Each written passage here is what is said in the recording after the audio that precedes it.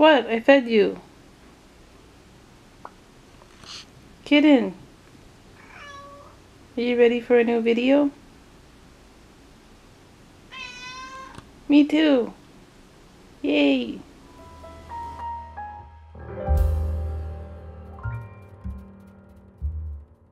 Hey guys, welcome back to the channel. So this is part three of the Jonah Hex costume.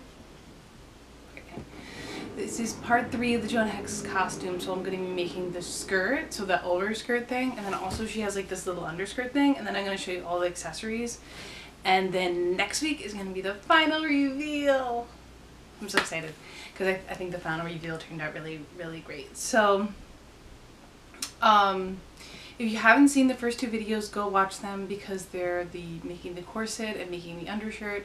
So this is the third video. Um, so if you watch all three, hopefully you can, you know, figure out how to make it. And basically, as I've said in the first two videos, the time on screen that Megan Fox was in Jonah Hex was probably five minutes. So I really had to go off these promo pictures because she wears three costumes in the film and the one that I chose she wore the least amount. so basically I had to really zoom in and it's not like exact like you know replica, but it was the best I could do. The skirt I had a few problems with because based on these promo pics, I couldn't really see the skirt all the way down. Plus, I feel like she um, wore like a couple different skirts.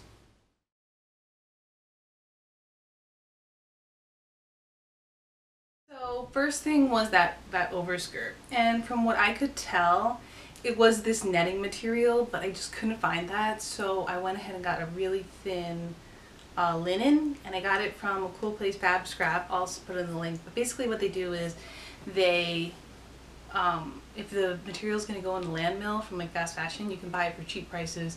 Or there's this whole free section. So I got some of that for the free section.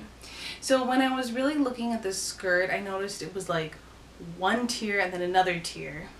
And um, it looked like from my zooming and stuff like that that the second tier did have a bit of gathers. So what I did was I took three yards of the linen, three yards wide, and then I cut it kind of around the knee because I, from the photos, it's like one side seemed a little longer, one side was shorter, and I was like, is it how they, you know, bustled it? I, I could never 100% tell, but I was like, I'll just make it even on both sides and then maybe try to figure something out with the bustling later. And I don't think you can really notice. And you know it's so it, doesn't look exactly like the film but I think it looks good enough where you wouldn't really be able to tell. So I had three yards I bought six yards total three yards I did for the top part and I, and I cut it around my uh, like right around my knee.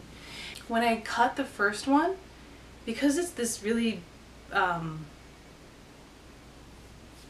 thin kind of fabric, I was able to take one little um, bit out, like one little string, and then I was able to cut it really nice so I didn't have to like measure it and stuff. So that was kind of an easy way that I did like the um, cutting of it so it's all the same length. So that was kind of a cool thing I did if you guys want to do that. Um, so anyway, and I noticed in the poem pictures that she had these little tiny pin tucks I think they're called. So I added all these pin tucks just to that top layer. Because from what I could see in the photos, from zooming up a million zillion times, it looked like that. And I do think they were a little closer together in, in the end product. But I, I think it gives enough of a look. So the first panel, it's all pinned. And then I um, went ahead and added the second panel, which I did is six yards. And I just did it to my, um, like to my foot. I didn't do it any longer. I wanted it to be, you know, even on all sides. And I gathered it. So I gathered the second layer. I gathered the second layer so then I had a two-tier skirt. I, I had at that point like a very large rectangle of one top tier. So the whole thing was three yards by the end. So I had the top one and then I had the gathered one in the bottom and I sewed the gathered one and I made sure that the outer part was showed the seam because I'm going to cover that up with this trim I made and you're going to see the inside like you're going to see the back part of the skirt so I want to make sure that was cut like that was a nice seam on the inside And then I found in the free section of this Fab Scrap place, I found this already ruffled, it kind of looked like linen, but I'm pretty sure it was polyester. This already ruffled, um, I think it was for upholstery or something, fabric that kind of looked like linen and it looked enough, like good enough for me to use. And I just cut strips, um, I think it was about like four inches or so wide because it looked like that from the um, photographs. And I knew I was going to need the top part and then at the bottom she has the same thing. When I first cut it, it wasn't, it didn't look ruffled enough. So I went in the sewing machine and I wanted both sides of the fabric and I just added some kind of random like little ruffles in. So, or pleats. So I ran, added some random pleats in with it so it would look more like the photographs. Once I did that, I added the ribbon. And then I needed to make the trim match the photograph and it looked like um, kind of a mauve ribbon and then on top of that a brownish kind of ribbon. So I found those ones from the trim store and I have some video of me going to the trim store. Okay, here's my trip to the garment district in New York City, and I'm excited because I can show you guys some of the shops that I go to a lot of the time. So, the first one that I wanted to go to is called Pacific Trimming and it's open like a lot of the time. That's why I like going to it, but it has a really, really big selection, so it's one of my favorites.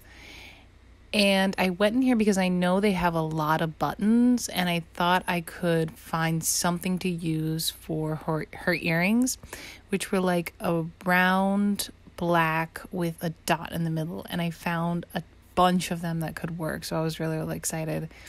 So, and then I was just trying to find like something that I could use for the outer edge because in the picture, the outer edge is uh, gold and then also it has a little round round bead on top. So I was like, maybe I'll try to find a, you know, a round um, bead and then maybe a leaf bead to go around the sides because that's how it looked in the pictures.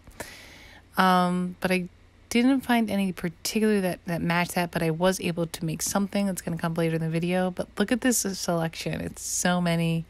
Um, I love going here, but I thought maybe I will go to another store just to see what they have. But I went to the ribbon part of this store first. And look at all these ribbons. And this is where I got the ribbon for the necklace, the ribbon for the um, skirt as well. So here we are, are at MJ Trimming.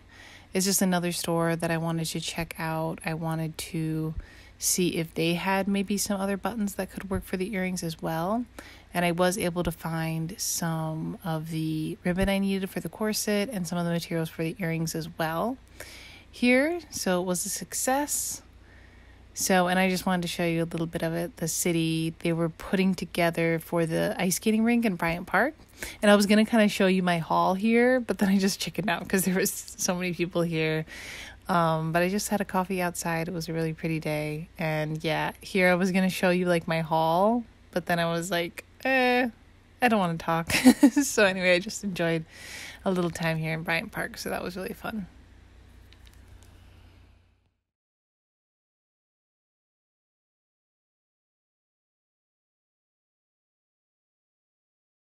and I just sewed with the machine, the thicker one, and then I hand sewed the brown so you couldn't see the stitching from the uh, the pink one.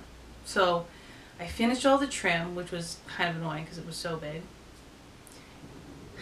Then I went ahead to the sewing machine and added it to the top part. So I just went underneath um, that pink ribbon so you couldn't see where I stitched it on. And then I could fold it over. So, and then I had to do that for the bottom part as well. And, but something I had to do first was add this, I think it's called horsehair. Hold on. Horse hair. Um, yeah, it's called, it's polyester horsehair braid Okay. and I got like one inch or something of it because I noticed in the pictures how it was, you know, flowing and stuff. I knew that that was on there because that's what you add to give it that shape and that flow. So I added that to the edge of the bottom of that whole skirt. And then once I did that, I was able to add the trim on the bottom as well.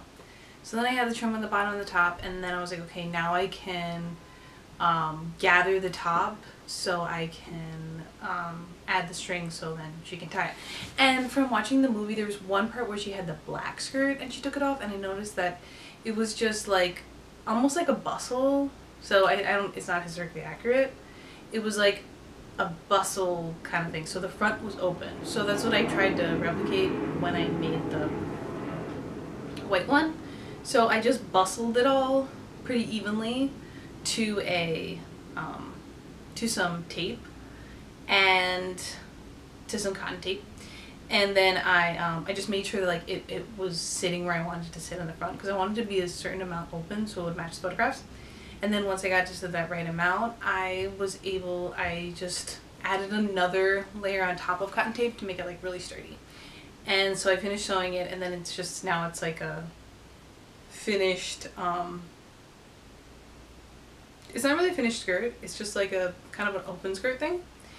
And then what I did was just to finish it off because like the I noticed from the photographs that it was kind of the front parts was kind of turned inward uh, I wasn't sure exactly how they did that. So I just kind of added a few stitches to make the front part kind of curl in so you couldn't really notice the edges and you couldn't really it, it would look more like the photographs. And then one last thing I did for the bustle was I added two buttons on the very top of the skirt and then I added um, little like pieces of cotton tape which I cut so you could then just put up the bustle. So you could wear the skirt unbustled. There was a few times in the movie where she had like the one side was down, the one side was up and that sort of thing. So I, I tried to replicate that. It doesn't look exactly like it, but so anyway, that is the larger skirt.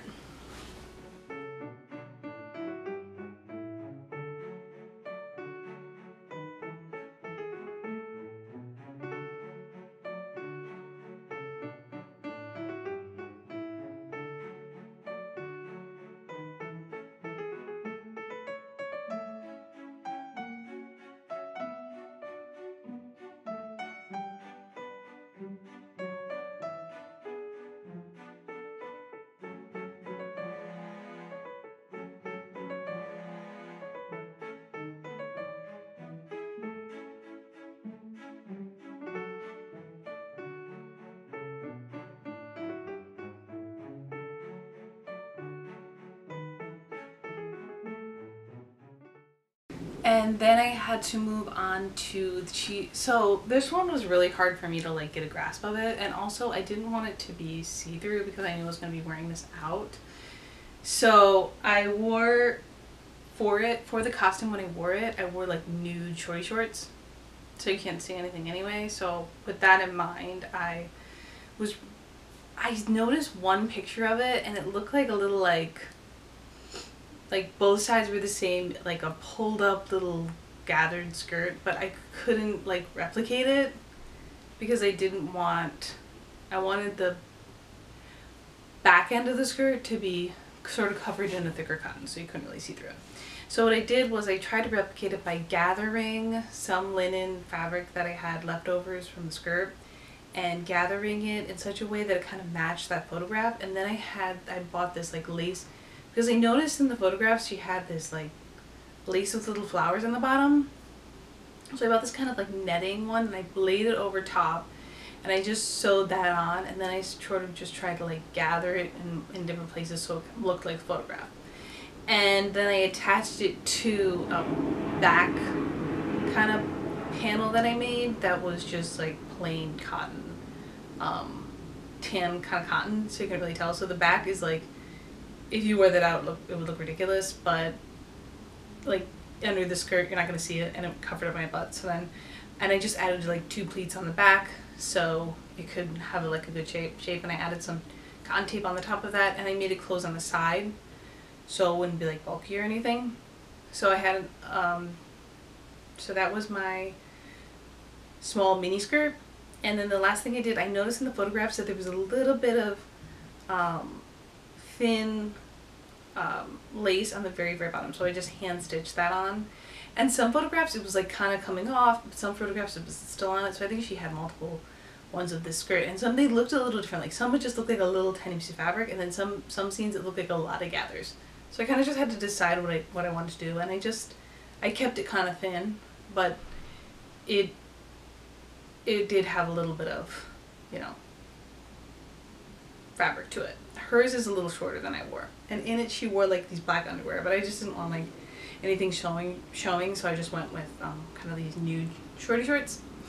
And then, um, so then I had the two pieces of the skirt done, um, and they looked really, really nice. So next I moved on to the accessories, and she wore these stockings, and I wanted, from what I could see in the photographs, they looked like a knit, like stocking, and I wanted them to look like that knit too. So I bought like a really big, much bigger size than what I normally get in those knit um, stockings and like I wanted to make sure they look knit, so I bought from Target like these knit stockings in quite a few sizes larger than I normally get, and then I cut them like at the very top, and then I, I was able to kind of roll them down, and then I just added some random holes, and I think it really looks like it. Um, the problem when you do that is that it does they do kind of fall down, so I did need the garters.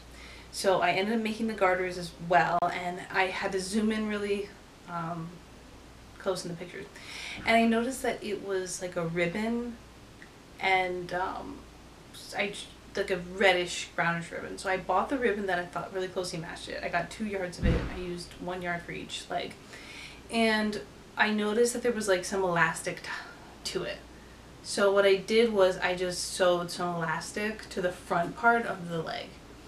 So then when I tied them, they stayed up and it looked really like the photograph and I did need them. So, um, and then I just tied them in the back because she had them like tied them in the back. So then I had the two garters done.